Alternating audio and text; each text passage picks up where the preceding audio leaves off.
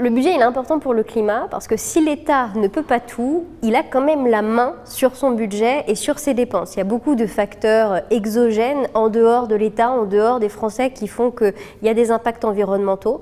Mais le budget, c'est vraiment un moment de souveraineté, un moment où le Parlement est aussi impliqué et donc l'État euh, doit être exemplaire en, matière, euh, en matière climatique, en matière environnementale et en matière de dépenses, il peut euh, piloter ce qui est favorable, défavorable à l'environnement.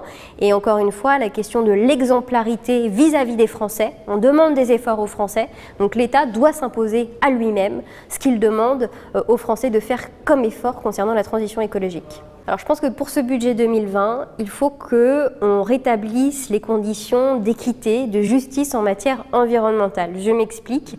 Euh, on a euh, commencé par la taxe carbone, donc on s'est dit on va demander des efforts aux Français. Or, on sait qu'il y a beaucoup de secteurs qui sont restés en dehors de ces efforts parce qu'ils bénéficient d'exonération de niches fiscales défavorables à l'environnement. Je crois que si on veut rétablir la confiance avec les Français, il faut qu'on travaille sur la sortie de ces niches fiscales défavorables à l'environnement en travaillant avec les entreprises pour mettre en place les accompagnements euh, qu'ils sont nécessaires de faire euh, pour faire en sorte que ce ne soit pas euh, insurmontable pour ces entreprises. Donc priorité dans ce budget 2020, c'est la sortie des niches fiscales défavorables à l'environnement.